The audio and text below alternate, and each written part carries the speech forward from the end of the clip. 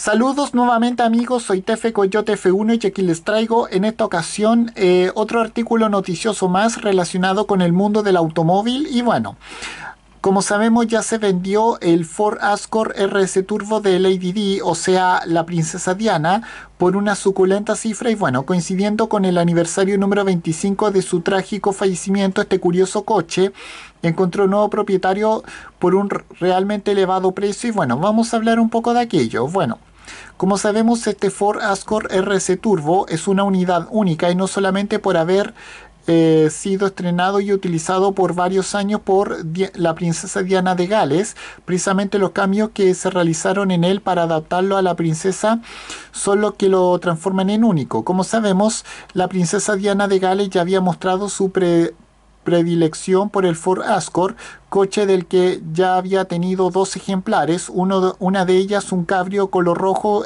con el que fue fotografiada en, en, numerosas ocasiones.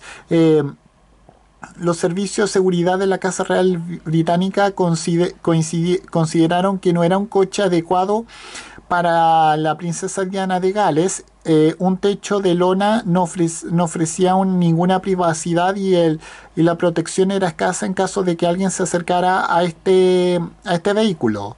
Como sabemos, en 1985, cuando ya era madre de sus dos hijos, los príncipes Guillermo y Enrique, la princesa Diana de Gales eligió nuevamente un Ascor para sus desplazamientos por la calle de Londres porque parece ser que no le gustaba mucho conducir en su trayecto más privados eh, los grandes y lujosos coches que había a su disposición en el palacio. Y bueno quería un vehículo más manejable y ágil para, la, para las calles de la ciudad y se decantó nuevamente por el Ford Ascor, pero en esta ocasión por un RC Turbo, la primera serie del, de este potente modelo.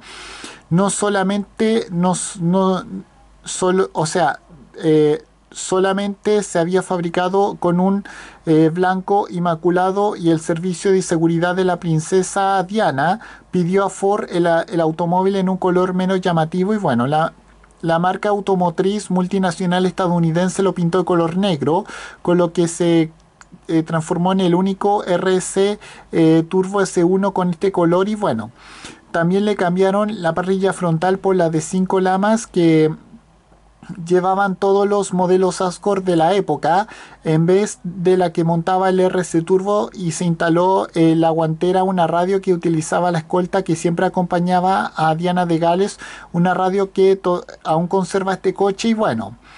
Como sabemos, eh, Lady D utilizó este coche, el Ascor RC Turbo, hasta el año 1988, cuando fue devuelto a la compañía, a la automotriz multinacional estadounidense Ford Motor Company, con solo, eh, teniendo solo 6.800 millas, lo que equivale a 1.900 kilómetros.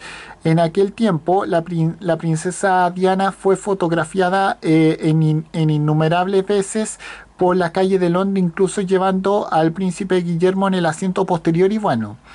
Este modelo fue nuevamente adquirido por un nuevo dueño y su periplo de estos últimos 37 años de existencia incluso formó parte eh, de un concurso promocional de XFM precisamente en Reino Unido. Lo cierto es que este automóvil llegó hasta hoy en, en perfectas condiciones casi de concurso y con solo 24.961 eh, millas eh, recorridas, lo que equivale a 40.000 kilómetros. Eh, sí, 40.000 kilómetros comprobados y certificados en las minuciosas revisiones que se realizaron a su historial de inspecciones. Bueno, perdón.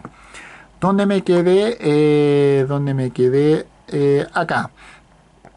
Este modelo salió a subasta el reciente fin de semana, concretamente el 27 de agosto, solo cuatro días antes de que se cumplan 25 años del de, fatal accidente que le costó la vida a la princesa Diana de Gales, precisamente en un... Eh, en un túnel en París, la capital de Francia. Y bueno, el precio salida solo lo conocían los interesados inscritos en el evento celebrado por Silverson Auction, pero ya pero ahora ya se conocen todos y es que este interesante coche encontró un nuevo propietario luego de haberse eh, pagado por él el precio de 8, 857.712 libras, algo así como algo así como 855 millones de pesos chilenos. Y bueno, eh, hay que destacar que esta suculenta cantidad es 10 veces mayor que la lograda por el otro eh, coche Ascor de la princesa Diana de Gales en una subasta celebrada el año anterior. Y bueno,